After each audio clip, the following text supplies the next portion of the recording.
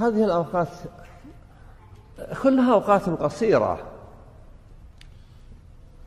يعني ليس على الناس حرج إذا تأخروا فأخروا الجنازة.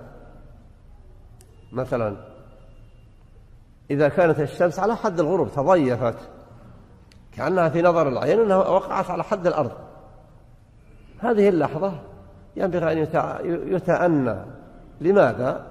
النبي لم يذكر هذا بنصا لكن النبي أخبر أن شياطين الجن ينبثون بعد غروب الشمس عند عوائل إقبال الليل ولذلك أمر بالعناية بالأطفال في ذلك الوقت.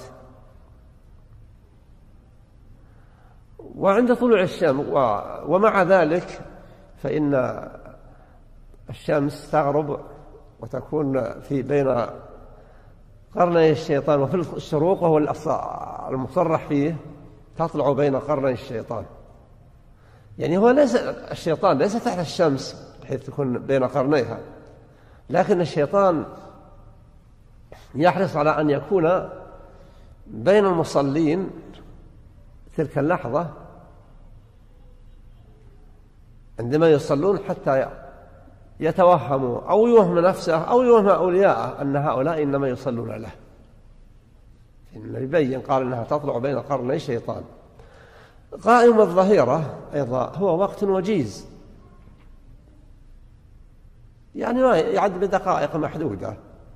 لو أراد الواحد أن يختبر ذلك وجلس عند شاخص قبيل الظهر ثم راقب الظل وهو ينكمش. فعندما يقف الظل عن الانكماش هذا وقت قائم الظهيرة. يعني كأن الشمس قائمة على وفق الشاخص. فإذا بدأ الظل بالزيادة فقد دخل وقت الزوال. فهذا الوقت المحدود عند طلوع الشمس وغروبها وعند قيام قائم الظهيرة لا يتقصد الإنسان أن يصلي ولا أن يدفن ميته. ثم هذا ليس فيه مشقة على الناس إنما وقت محدود. الصلاة إذا كانت الصلاة لم يصلى الجنازة لم يصلى عليه ينتظر حتى تطلع الشمس أو ينتظر حتى تغرب. أو ينتظر حتى يحصل الزوال